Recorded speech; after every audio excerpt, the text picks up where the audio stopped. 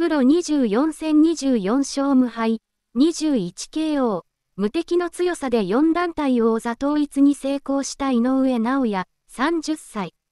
スーパーバンタム級 A 階級を上げ、WBC、WBO 王者のスティーブン・フルトンとのタイトルマッチ、7月25日に臨む。その井上のアマチュア時代からこれまでの歩みを追った雑誌、ナンバーのザ・チャンピオン井上直也編を特別に公開します。初出、ナンバー2020年11月19日発売。肩書き、年齢などは当時のものです。絵に描いたようなカウンターとはまさにこのようなパンチだったのではないか。現地時間、2020年10月31日、ラスベガスデビュー戦の第7ラウンド。ジェイソン・モロニー、エラが放った右とほぼ同じタイミングで放たれた右ストレート一戦。カウンターブローが決まった時の KO シーンはひたすら美しい。そこには殴り合いの残酷さは微塵もなく、このスポーツの持つ美の極地とも言うべき瞬間が見る者を酔わせる。パンチを当てた方もこれ以上はない快感を持つはずで、試合後の井上尚弥が、フィニッシュはすごく納得のいくパンチ、と持参したのも頷けよう。その前の第6ラウンドに最初のダウンを奪ったのも、やはりカウンターだった。モロニーが左を放ったところに合わせた左フック。近年これほど果敢にカウンターブローを放つボクサーも珍しいのではないか。カウンターブローとは、相手の力を利用して強力なダメージを与える高度のテクニックを要するパンチ。非力な選手でも相手の力を利用してパンチの衝撃を倍増できる。それが井上の場合はもともとパワーがあるのだから、さらに大きな破壊力となる。誰もがお手本にしたいようなパンチだが、誰でも打てるパンチでもない。それを完璧に打てる井上は天才なのか？これについては、父親でありボクシングの師でもある井上慎吾が常に否定的である。6歳から父慎吾の指導でボクシングを始め、コツコツと努力で積み上げてきたのが今のボクシングだというのである。慎吾の意見に、所属の大橋事務会長、大橋秀幸も同意する。実際にその、証拠を見せてもらったことがある。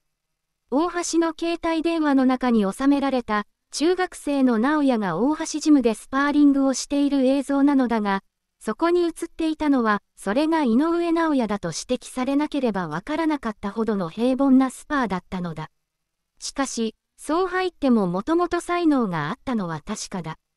そうでないと、高校の3年間で全国大会に5度優勝し、さらに大人の大会である全日本選手権に優勝することなどできなかったはずであるが最後に日本選手に負けたのは、2010年11月の全日本選手権大会のライトフライ級決勝。駒沢大学3年生の林田太郎に当時高校2年生の井上はポイント負けを喫する。林田はこの勝利で全日本3連覇を達成。しかし翌年は世界選手権の代表選考試合、そして再び全日本選手権の決勝で2度対戦していずれも井上にポイント負けを喫している。現在母校のコーチについている林田に聞くと、その学習能力の高さに感心したという。2戦目では足を使ったアウトボクサーになっていたし、3戦目はファイターの試合運びに変えてきた。それが一夜漬けではなくしっかり精度の高さを感じさせるボクシングをしていた、と証言するのである。現在母校のコーチについている林田に聞くと、その学習能力の高さに感心したという。2戦目では足を使ったアウトボクサーになっていたし、3戦目はファイターの試合運びに変えてきた。それが一夜漬けではなくしっかり精度の高さを感じさせるボクシングをしていた、と証言するのである。橋ジムには清水聡や直也の弟、拓馬などアマで活躍した逸材がひしめいている。ただ、ほとんどは、プロでやりたい、と選手から頼んできたもので、自分から取りに行ったのは直也だけ、と大橋は断言する。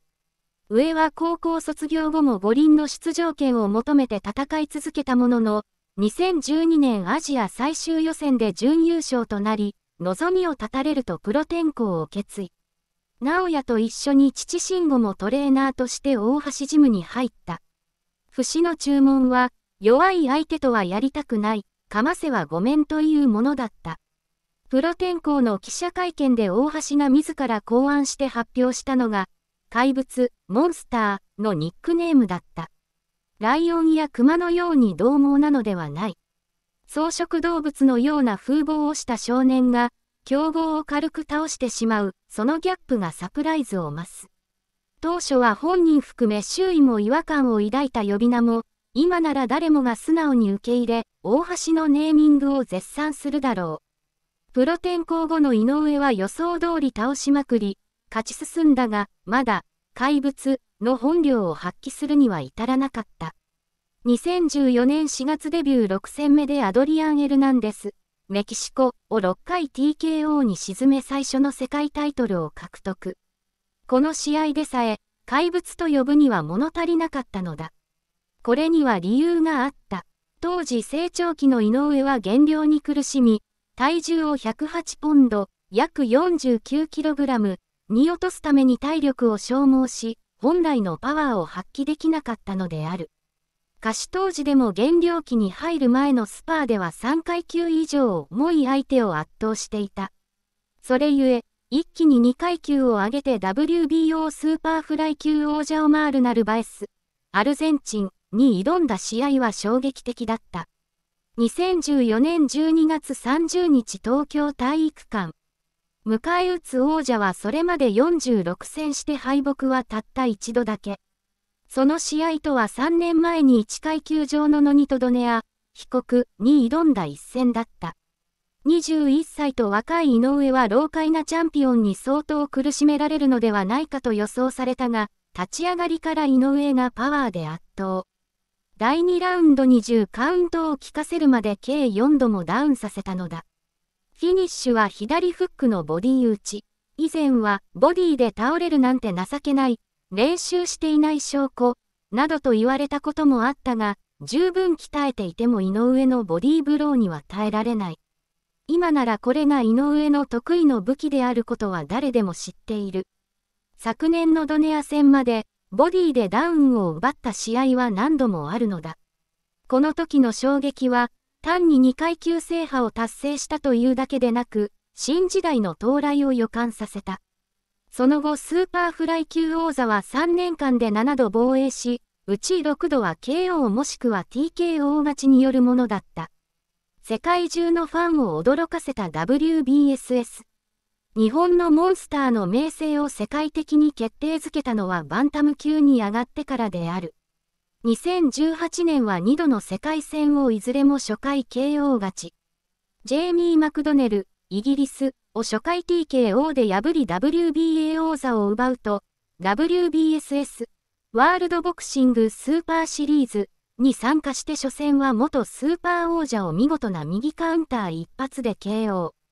準決勝は19勝無敗の IBF 王者エマヌエル・ロドリゲス、プエルトリコ、を2回左フックのボディ攻めで沈め、新たなベルトをコレクションに加えた。世界チャンピオン級の相手を1、2回で一周する井上に世界中のファンが驚嘆した。武して迎えた2019年11月7日、超満員の埼玉スーパーアリーナ、ドネアを相手にした WBSS 決勝。36歳の5限階級王者が予想外のしぶとさを見せ、2回には左フックを直撃されて右目を痛め、中盤の井上はそれまで見せたことのないピンチに立たされた。しかし終盤11回には左フックを脇腹に決めてダウンを奪い、3の0判定勝ちしてアリトロフィーを手にした。